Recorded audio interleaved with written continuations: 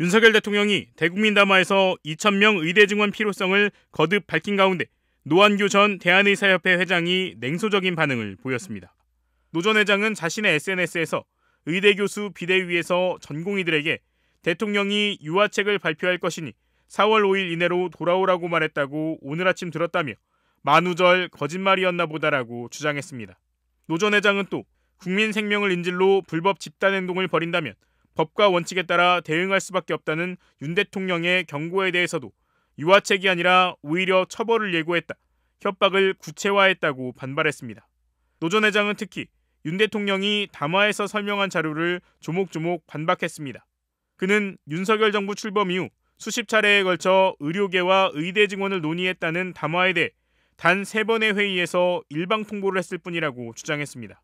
또 의사 수도 우리나라 의사 수는 1000명당 2.1명이 아닌 2.6명이라며 우리나라 의사 증가 수가 OECD 최상위권이라는 사실, 의사 수가 OECD보다 부족한데 의료 수가가 3분의 1이라는 것도 대통령은 말하지 않았다고 지적했습니다.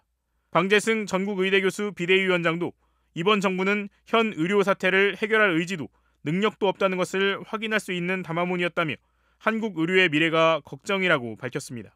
대한의사협회 비대위도 브리핑에서 많은 기대를 갖고 발표를 지켜봤지만 더 많은 실망을 하게 된 담화문이었다며 현명한 국민들께서 정부가 올바른 길을 선택할 수 있도록 도와달라는 입장을 밝혔습니다. 윤석열 대통령이 오늘 오전 의료개혁과 관련해 대국민 담화문을 발표했습니다. 먼저 전공의들의 불법 집단 행동으로 국민들이 불편을 겪고 있다며 송구하다고 발문을 열었습니다.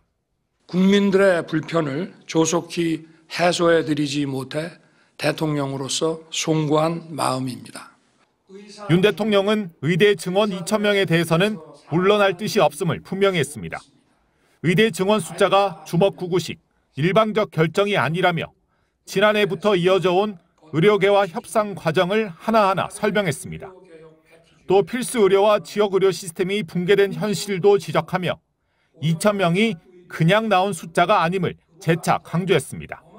의대 정원 2천 명 증원은 국민의 생명과 안전을 지키는 헌법적 책무를 이행하고 급격한 고령화에 대응하기 위한 최소한의 증원 규모임을 다시 한번 말씀드립니다.